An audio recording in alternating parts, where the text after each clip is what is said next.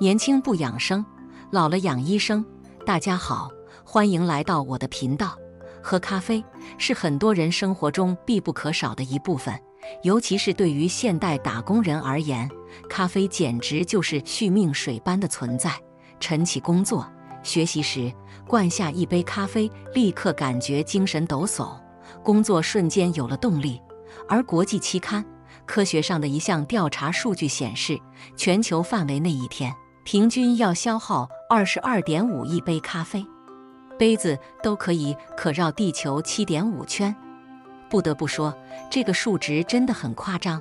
一，长期喝咖啡的人最后会怎样？大家都知道，咖啡具有很好的提神功能，但其实它的作用不仅仅只有提神这一项，它还有很多不为人知的好处。那每天喝咖啡的人，身体最后会收获什么？一、改善大脑代谢。临床研究杂志上的一项研究指出，经常饮用咖啡对于增强大脑代谢有帮助，可增强人体的记忆和学习能力。饮用咖啡时，脑内的乙酰胆碱水平会下降，大脑代谢率会因此而增加。咖啡因还能参与蛋白质调节、翻译、脂质代谢以及胰岛素相关的代谢过程。这些可帮助增加突触相关蛋白的水平，继而帮助提高记忆力、学习能力。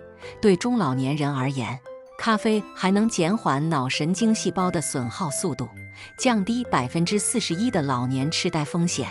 二、降低肝脏硬度。发表在《Frontiers in Pharmacology》一项涉及十五万人的研究显示，每天喝超过一杯咖啡的人。与每天喝少于一杯咖啡的人相比，非酒精性脂肪性肝病患者肝纤维化风险减少百分之三十三。三、降低糖尿病风险。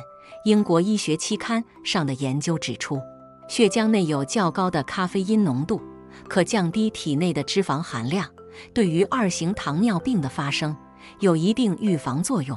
四、帮助降低尿酸。有研究人员对九项。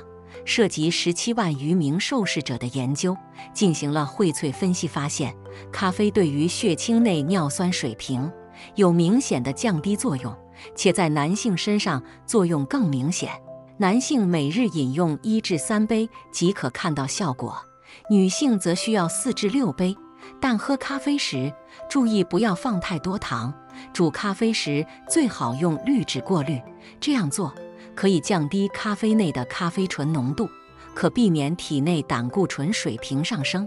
需要提醒的是，孕妇、高血压、失眠、焦虑症以及胃部健康较差的人群，建议最好不要喝咖啡，避免加重自身的不适症状。二、同时爱喝茶、喝咖啡的人。三、死亡风险降到最低。生活中喝茶、喝咖啡的人都不少。那这两到底哪个好呢？一爱喝茶的人，糖尿病风险更低。权威医学杂志《ESD》上刊登了一项由武汉科技大学开展的研究数据，内容显示，适量饮用茶可降低二型糖尿病的发病风险。如每天饮用大于等于四杯茶，可降低百分之十七的糖尿病的患病风险。二爱喝咖啡的人，心脑血管疾病风险更低。二零二二年，欧洲预防心脏病学杂志上刊登了一项由澳大利亚墨尔本大学开展的研究显示，每天喝二杠三杯咖啡，包括现磨咖啡、速溶咖啡和不含咖啡因的咖啡的人，发生心血管疾病的风险比不喝咖啡的人低，且寿命也较长。具体为喝速溶咖啡的人，死亡风险降低百分之十一；喝不含咖啡因的咖啡的人，死亡风险降低百分之十四；喝现磨咖啡的人，死亡风险降低百分之二十七。可见，不管是咖啡还是茶，适量喝对健康都是有益的。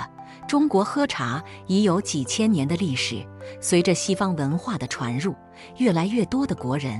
私底下茶和咖啡都来，这个比例达到了百分之七十。很多科学家对这种现象进行了研究，到底喝茶加咖啡对身体是好还是坏呢？近日，在欧洲糖尿病研究协会年会上，中国武汉科技大学的研究团队公布了一项涉及八个国家十九项队列、一百零七万名受试者的喝茶与健康之间的关联研究。该研究显示，每天适量喝红茶、绿茶或乌龙茶大于等于四杯茶，在平均十年时间内，二型糖尿病风险下降百分之十七。天津医科大学的研究人员从英国生物样本库内收集了五十万群众的纵向队列数据，分析咖啡和茶单独饮用或组合饮用与总死亡率、特定原因死亡率之间的关系。相关结果发表在《BMC Medicine》上。研究指出，喝茶加咖啡的受试者与两种都不喝的相比较，或与更低的全因心血管疾病。呼吸系统疾病死亡风险相关。只喝茶的人当中，每日喝二至四杯茶的人，与不喝茶的人相比，呼吸系统疾病、心血管疾病和全因死亡风险降至最低水平。调整了其他的混杂因素后，全因死亡风险下降了百分之二十三。只喝咖啡的人当中，每日饮用咖啡小于一至二杯的人，相较于不饮用的人，呼吸系统疾病、心血管疾病和全因死亡风险降至最低水平。调整了其他混杂因素后，全因死亡风险下降了百分之二十。同时，喝咖啡和茶的人获益更为明显，每日饮用一至二杯咖啡加二至四杯茶。可以让全因死亡风险下降百分之二十二，心血管疾病死亡风险下降百分之二十四，呼吸系统死亡风险下降百分之三十一。什么人不合适喝茶和咖啡？茶和咖啡再好，也不适合每个人。有的人喝这两样东西，反而可能伤身，要注意避免。一常年失眠或者准备入睡的人，茶叶当中含咖啡因，具有兴奋大脑的作用，所以准备入睡的人最好不要喝，不然很容易影响睡眠。而失眠的人本身睡眠质量就不好，此时再饮茶只会雪上加霜。二胃不好的人，胃不好的人喝茶是有讲究的，建议尽量选择红茶和普洱等茶叶。且一定要注意控制饮用量与浓度，少喝绿茶和新茶这类茶对胃黏膜的刺激较大，容易导致胃不适。三、正在服药的人，药物当中的成分是比较复杂的，此时喝茶容易与茶中的茶碱和鞣酸发生反应，从而影响药效，所以正在服药的人最好不要喝茶，要喝最好间隔一小时。三。不论喝茶还是喝咖啡，这三点都要牢记。虽说喝茶与喝咖啡都可给健康带来一定好处，但在喝的时候一定要注意这三件事，避免因为不当的饮用方式威胁健康。一、不要喝得太烫。世卫组织将大于六十五摄氏度的饮品列为了致癌物，长期饮用烫水会导致食管癌的发生风险显著增加。对此一定要引起足够的重视，及时做出改变。二，不要喝得太晚。咖啡和茶内都有咖啡因成分，喝得过晚容易影响到正常的睡眠质量，建议在早晨或午餐后饮用为宜。三，不要喝得超量。咖啡摄入量建议保持在每日小于五杯，茶保持在每日四至五杯即可，切不可贪多。过量摄入容易给身体带来不好的影响。生活中适当饮用咖啡，可给健康带来一定的好处，但在饮用时一定要牢记以上几点小建议。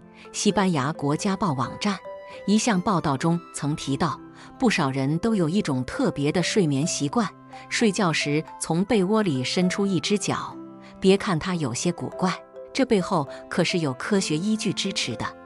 一睡觉时尽量把脚露在外面，有什么作用？为什么大家睡觉都喜欢把脚伸在被子外呢？脚部被誉为人体的第二心脏，密布着丰富的穴位和神经经络网络，当体内温度升高时，把脚露在外面，可以散发热量，降低身体温度，更快进入梦乡，睡得更安稳舒适。神经科学家马修·沃克在其著作《为什么我们需要睡觉》中也提到，相较于一个过热的环境，人们在稍微冷一些的房间中更容易入睡。相反，睡觉时一直把脚放在被子里，就会阻碍皮肤散热，给健康带来一些副作用。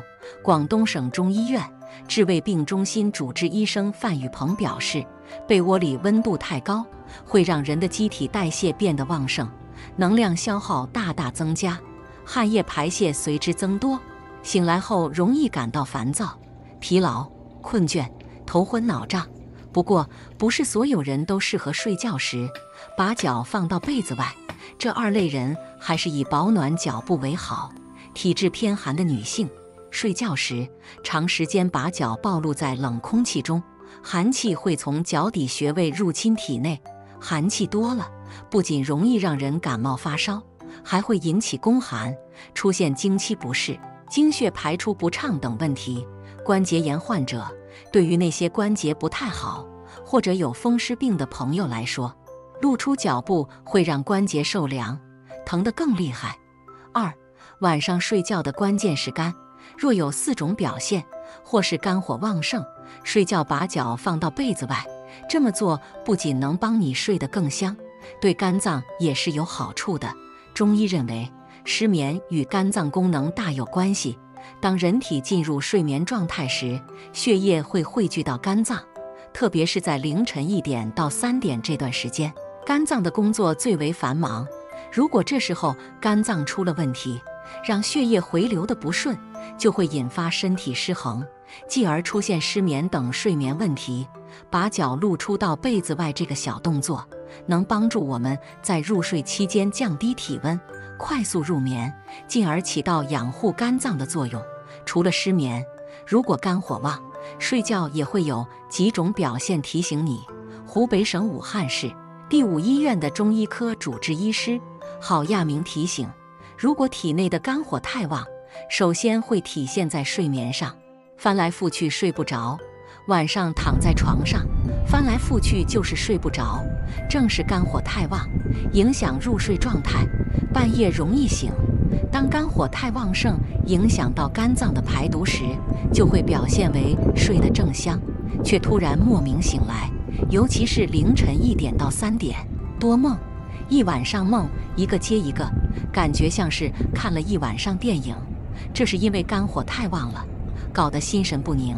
连睡觉都睡不安稳，口干舌燥，肝脏与身体的水分调节有关。当醒来时感觉口干或喉咙痛，这也是肝火旺盛的一个迹象。